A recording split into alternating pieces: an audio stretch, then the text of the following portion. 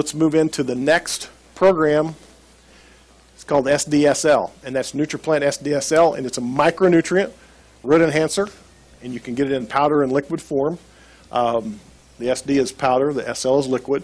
It's a unique blend of micronutrients. It's complex with fermentation metabolites. It can be applied anywhere your seed's moving, whether it's in the planter box, or in your seed tenders, or out of your bulk truck, or in any number of ways. Uh, it can be applied. If the seed's moving, I want to get it on there. It's going to electrostatically attach itself to the seed, and as you can see, this is the powder form. Um, very much like talc. The reason is because talc is the carrier for the micro. So if you're using talc in your planter systems, you can replace your talc. You don't have to buy talc. You can use this, and now you have a micronutrient. If you want to call it a fertilizer, biostimulant, whatever you want to call it, that goes right on the seed. Once it's on the seed, you're going to get better root development, faster emergence. It is exciting. Why is it so economical? Because if I look at these rates on alfalfa, I'm, on 100 pounds of seed for four ounces, I'm probably talking in the dollar an acre range. You know, for corn, I may be talking in the dollar and a half to dollar seventy-five range at the most. You know, and so I'm looking at in the one to two dollar application rate for this product. It's absolutely phenomenal for the return on investment. Uh, so it doesn't take a lot of product to, to get done what you want to do because you're treating the seed. Micronutrients, we've all known as farmers that they're, you know, once they're mined out of the soil, you have to replace them. They're not naturally being replaced, so you have to do that. And you can broadcast micronutrients, and it's not very expensive, but the process is that micronutrient is not where you need it when the plant needs it. Micronutrients are very time-oriented applications. In other words, you have to have it at the plant when it needs it. It doesn't do it much good if it gets there when it doesn't need it, okay? Because it will uptake and, and not uptake micronutrients based on what it needs. For instance, a corn plant will need 20 times the amount of calcium the first three days, two to three days of its life that it does as a full-grown plant. And if you have the calcium right there for it, you're going to do it some real good right there in that point. All right. So um, this is our data because we started marketing SD and SL and AG, the NutriPlant products, in 2001. So the, the data previous to that, 20 years of data, you can see the yield increases percentage-wise that we got across the board, you know, not just in North America, but across the world where the product was marketed. So there, that's significant. I mean, you can look at the dollar figures you want, but I, the red is what I like to show guys. And small grains, even is the, the best, where you get your wheats and, and uh, milos and that sort of thing. So um, what's it look like in the lab when you treat a corn plant uh, or with, with uh, a corn plant without treated by SD? Your micro hairs are what is your uptake of your moisture and your nutrients. So that's how you get water up and nutrients into the plant. When you treat that plant with, with the seed with SD, look what it does to the micro hairs. Phenomenal a lot more root hairs. And, and you, once you germinate those seeds, this is these seeds were the same, the same bag of corn, um, uh, 10 seeds in each pod. And once they, you know, obviously germinate and you take them off so they have light and let them go. This is the 12th of December. This is the 13th. This is the 14th. Significant. 15th and the 16th. Which corn plant would you want? Particularly for a dollar or a dollar and a half an acre. Okay? This solves a lot of that uniform emergence that we talked about. Seed to soil contact, big deal because once it germinates, the SD gives it almost a 100% survivability rate once it germinates. That will help. Um, if you have a crusting, which plant do you think is going to push through that crust better?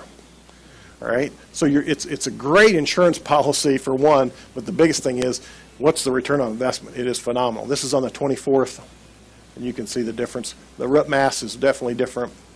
And um, this is a good example. We caught this picture. Two, a farmer had two drills running, two different tractors and drills.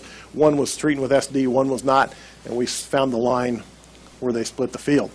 Interestingly enough, two days later, you couldn't see that line because the other side came up, and visually to the naked eye, it was kind of the same. But when we went out, you could look right down the tubers and tillers in that wheat. There was a significant difference. And then if you dig the plant up, this is kind of what you see. A lot bigger root system, a lot bigger shoots and points. My, the guys out in western Oklahoma that pasture their, the, the pasture their, a lot of their cows out there, they love this on their wheat because their wheat's a food source more so than it is a crop for them. And, uh, and they're still getting a good crop after that with SD.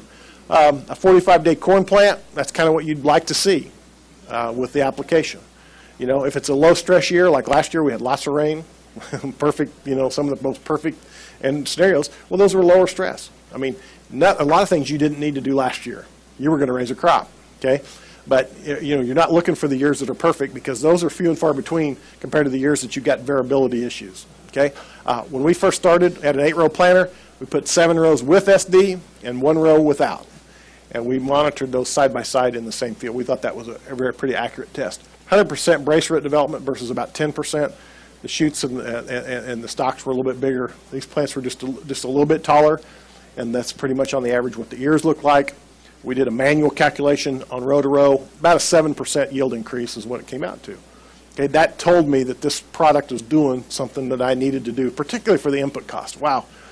So when you look at micro, uh, if you look at precision farming, what's it look like today? This picture absolutely encapsulates what precision farming is, okay, and what you're trying to accomplish. Let's put a micronutrient root enhancer on the seed. Let's put our starter fertilizer just a little bit away from the seed so that the micronutrient can establish that plant, give it a real good start so it's ready to uptake that nitrogen. You put your NPK at maybe uh, four to six inches down, the first NPK, the second NPK is maybe eight to 10 inches deep. And now we've trained and we've put our inputs and trained our plant to move vertically in the profile. I mean, that's what everybody in, in the industry is really looking towards doing in one form or the other. That's with corn. Of course, it applies to other plants as well. But in many soils, 15% of your nutrient pool, pool is below 24 inches. We want our root systems at that level, okay? I want to throw this little test in here. It's not my test, it came from K-State. I don't know where that school is, but somebody told me it's out here ways, okay? And people wear purple, I know that. But, um, but also uh, Oklahoma State and Purdue duplicated this study. It was a three-year test to say, is starter fertilizer in furrow, how, what, what's it doing to our plant populations and yields? And they did, ran different levels of nitrogen on their starter fertilizer and their in-furrow plant populations. I think there was a 30, uh, it's a 32,000 plant population. Uh, uh, The two by two, which means that they placed their starter fertilizer two inches down and two inches over, or two inches over, and two inches down. 31,266 plants survived. But in the same, they, when they applied the same rate in furrow, only 25,202 plants survived. At 2 by 0, 31, 170, and if they sprayed it over the top of the row, 31, 266. Okay? So when you start looking at their survivability rates, there's significant differences there. And the yield, you're hoping you can overcome the yield ding. Um, Here in furrow, they averaged out of all five tests 171. At two by two, they averaged 207. Uh, Two by zero, 205, and row band was 189. The reason I show that to you is if you go back to this, why it's so critical to get that micronutrient root enhancer, that SD on that seed, so that it has a chance to help the retardation or the loss that you have from starter fertilizers. And, and even if it's, you don't have the loss because you're two by two, when that plant reaches, when those root systems reach that nitrogen, if it's a stronger, healthier, bigger plant, it's going to uptake it better. And it, I mean, it's just off to a double bang, double, double bang. Okay? So our test results from the Irrigation Research Foundation, uh, 5.3 bushel on corn for a dollar, basically a dollar and a half an acre. Uh, that's $21 increase. Okay? That's not too bad for a buck increase. Uh, if you have 1,000 acres, it's $21,000 for, you know, basically $1,000 input. Pretty good odds. That'd be pretty good odds at the casino. I'll guarantee you we'd all be down there for that kind of odds. So soybeans, two years of testing, 5.5 bushel. It's pretty good. Dry land winter wheat, 6.8 bushel.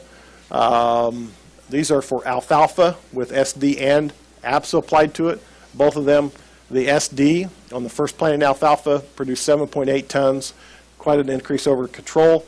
The APSA treated APSA, I'm going back to the APSA there, so don't confuse that, but was less, but because of the relative feed value, the value of the crop was more, $477 to the acre versus 385. So you have to look at both the relative feed value in that crop as well as your tonnage. So four-year averages on the alfalfa with SD, though, uh, about a half a ton to the acre more increase, because you only did it one time when you first planted that alfalfa. Comes in a 25-pound pail and a 1.6 gallon, because they both do about the same, and they're the same cost, okay? The liquid or the, the powder. So, um, any, any questions on the SD? I did say that you could replace your talc, right? With that product, you still have to use graphite. If you're, if you're required to use graphite in your planter, you still have to use graphite, but you can replace the talc. One of the interesting parts about this is that micronutrients, if you're reading your trade journals, are a big subject. And people that are pushing yields, or they're pushing them, one of the, one of the factors they're doing is micronutrient, micronutrient feeding. And they're doing, and micronutrients, in every case, is all about timing. You get the biggest bang for your buck for, when, because of the timing you put them on. Here, you're putting the micronutrient on when you know there's going to be a stressful situation. When that plant germinates, it's going to get stressed right there. You need to give it some of the things it's, it's needing to survive, push on through, push out of the soil, and get moving. That's a timing application, and it's very economical and easy to put on.